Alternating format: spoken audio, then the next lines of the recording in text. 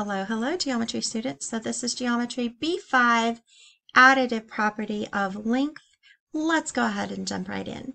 So if you notice, I am starting in the middle of um, this lesson. Here's the reason why, because I do feel like the very beginning of this lesson is so self-explanatory. Um, we are going to pick up with a few decimals and then we're going to go into the questions that I feel like you would probably need the most help in. Let's go ahead and get started. So if I read this story question, f to g is equal to 19.6, this measure from f to the g is 19.6. The measure, or distance, from G to H is 15.2. The question asks, what is F to H? Well, that would be adding those two values together. So let's do this concept. 19.6 plus the 15.2 is going to be equal to the F to H. So technically, let's just grab a calculator and let's add those. 19.6 plus 15.2. Talk to me. Talk to me. Tell me what your answer is. 34.8. Let's go ahead and answer that in there. 34.8. So F to H is 34.8, and we'll submit that. excuse me. So here's where I believe that you need me, okay? I really think that you can get the first section and now this is where I'm all yours. Okay, so let's go ahead and take a look and let's do the same. This plus that equals the total length. Let's go ahead and write it. So C to D is 5. This plus D to E is 3x that, which is 3x, because it says right here, this distance to this distance is 3x. C to D is 5, is equal to the total distance of D to E. So we have, oh, excuse me, and CE, excuse me, I forgot one right here. CE all the way to E is 4x.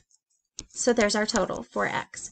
So this question here is asking you, what is D to E?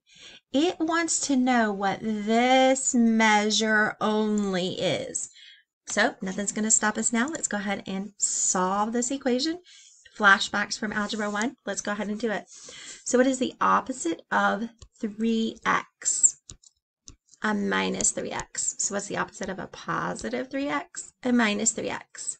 What I do to one side of my equation, I have to do to the other.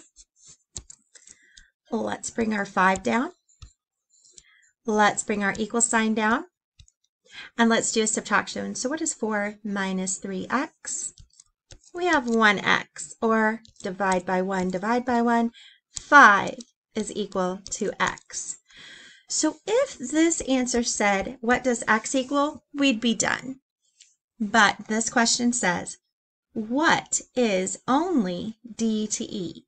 So d to e equals 3x, or 3 times x. Well, what is x?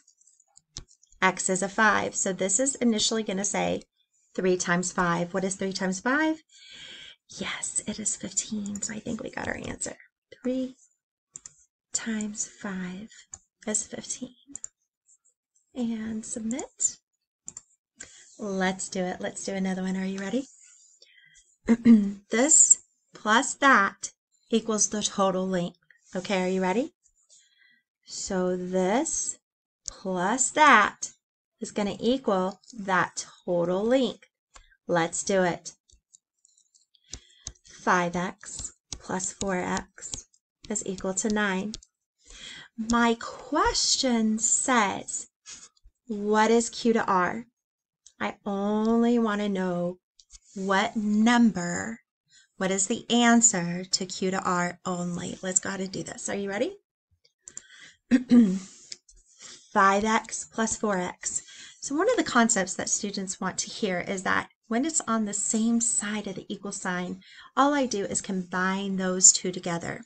So 5x's plus 4x's gives me a total of 9x's is still equal to 9.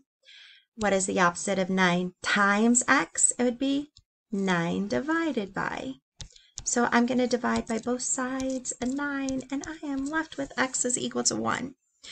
My answer does not say what is x equal to. It says, what is q to r?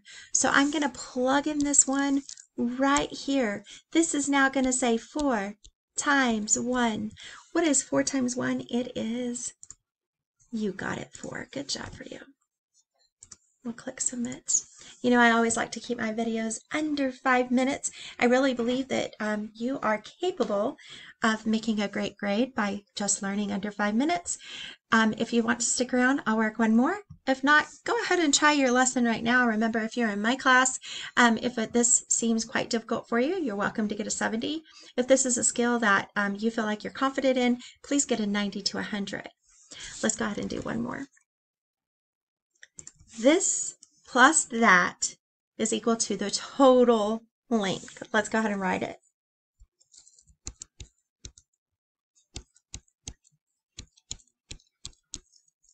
Let's go ahead and find out what it's wanting to know. What is D to E? What is this measure right here? Let's go ahead and simplify.